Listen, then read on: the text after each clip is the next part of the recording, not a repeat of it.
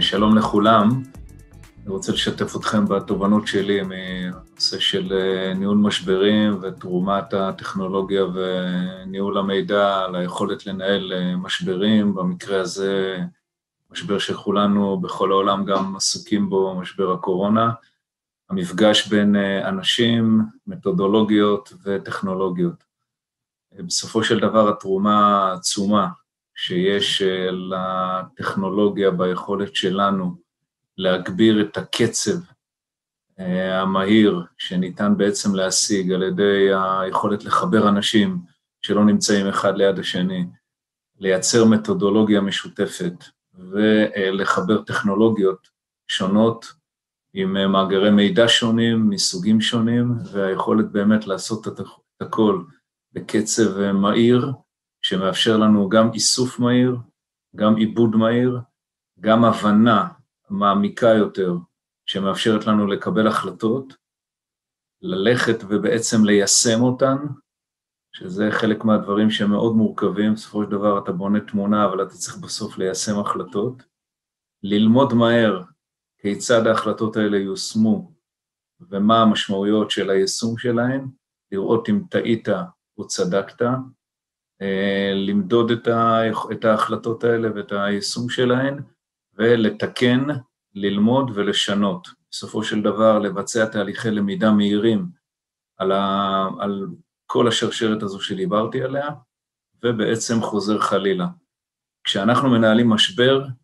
כל מה שתיארתי עכשיו צריך להתבצע בקצבים הרבה יותר מהירים מאשר אנחנו עושים בדרך כלל בימים של, אה, שהם לא ימי משבר.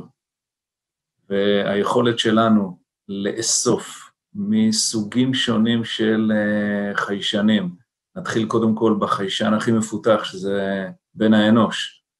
ולעבור אחרי זה לסוגי החיישנים השונים שהטכנולוגיה רק אה, מרחיבה אותם מיום ליום. היכולת לאסוף את הכל, מהר, לעבד, לארגן, ובעצם להפיק מזה מידע שמאפשר לקבל החלטות, עם יכולת אפילו לחזות